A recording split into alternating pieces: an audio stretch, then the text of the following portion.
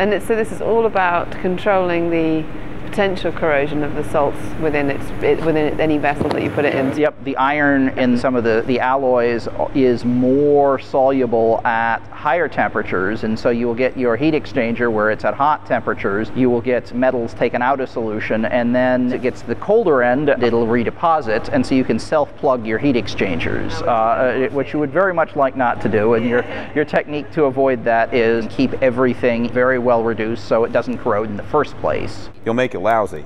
But there are no strong chemical reactions that are going to take place between the salt and even direct contact with water.